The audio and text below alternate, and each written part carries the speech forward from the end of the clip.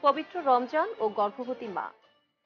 ইসলাম ধর্মাবলম্বী প্রত্যেক প্রাপ্তবয়স্ক নারী পুরুষের জন্য রোজা রাখা ফরজ। তবে গর্ভবতী মায়েদের একটু বিশেষ সতর্কতার প্রয়োজন।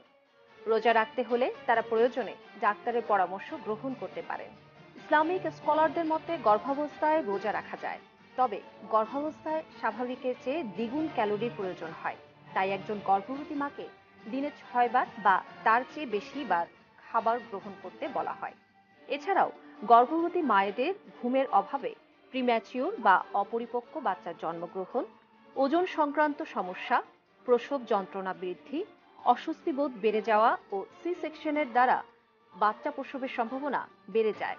সেজন্য সকল গর্ভবতী মায়েদের পর্যাপ্ত ঘুমের প্রয়োজন। এসব কারণে গর্ভবতী নারী ও মাতৃদুগ্ধ পান করানো মায়ের রোজা না রাখার বিষয়ে ধর্মীয় নির্দেশনা রয়েছে যে তারা পরবর্তী সময়ে কাজা রোজা হিসেবে আদায় করতে পারেন।